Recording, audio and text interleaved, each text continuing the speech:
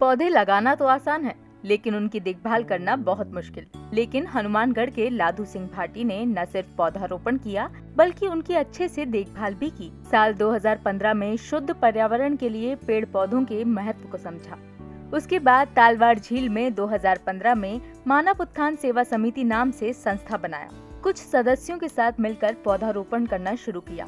ये सिलसिला आज भी जारी है। मानव उत्थान सेवा समिति की स्थापना विश्व महिला दिवस 2015 में कुछ युवा साथियों के द्वारा ये एक छोटा सा मुहिम शुरू की थी। उसके बाद में हमने तलवाड़ा झील के सात बीघा की कल्याण भूमि है, उसमें पौधारोपण किया और तलवाड़ा से टीबी रोड पाँच किलोमीटर वहाँ से पौधारोपण किया। वहाँ के रेलवे स्टेशन हॉस्पिटलों में पौधारोपण किया। फिर तीस सात दो हज़ार सत्रह से हमने यहाँ हनुमानगढ़ के अंदर पौधारोपण कार्यक्रम शुरू कर रखा है। अब हमारी दोनों जगह तलवाड़ा और हनुमानगढ़ जंक्शन में पौधारोपण कार्यक्रम निरंतर चल रहे हैं। महज छह सालों में ही लाधु सिंह अपनी संस्था के सदस्यों और जन सहयोग के साथ सड़क किनारे और सरकारी कार्यालयों में दस हज़ार पौधे लगा चुके हैं। करीब साढ़े सात हज़ार पौधे अब तक छायादार पेड़ बन चुके हैं। हालाँकि ये काम आसान नहीं था लेकिन जिद और जुनून के आगे कोई काम असंभव भी तो नहीं होता। अब तक हमने पचहत्तर सौ पौधे जो आज वृक्ष के रूप ले रखे हैं वो खड़े हैं। जितने भी आज तक हम पौधे लगाते हैं में ट्री गार्ड पौधारोपण किया जाता है। वो जो ट्री गार्ड है, वो सभी जन सहयोग से एकत्रित होते हैं। जो जागरूक लोग हैं, वो अपने आप हमारे संस्था के अकाउंट्स में या व्हाट्सएप ग्रुप के माध्यम से हमें पेमेंट भेजते हैं।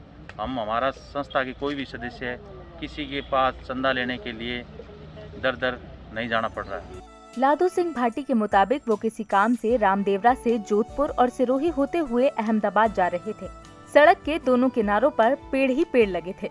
ये देखकर उन्होंने तय किया कि वो भी अपने क्षेत्र को हरा भरा करेंगे। बस, तभी से वह लगातार मेहनत कर रहे हैं।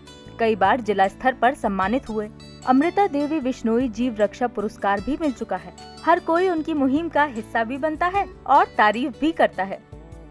मानव उत्थान समिति है जो पेड़ पौधे, पर्यावरण से संबंधित जो लगाने का बहुत ही अच्छा काम कर रही है मांगड़ में। और आगे भी कर रहे हैं और अपने को भी इनका सहयोग करना चाहिए, जितना हो बन पड़ता है।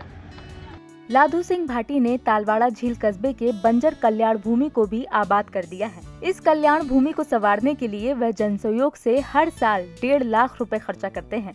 उनकी पर्यावरण मुहिम का हिस्सा राजनेता से लेकर जिला कलेक्टर और एसपी तक बन चुके हैं। वाकई लाधू सिंह पर्यावरण के सच्चे पहरेदार हैं। विश्वास भटेजा, ईटीवी भारत, हनुमानगढ़।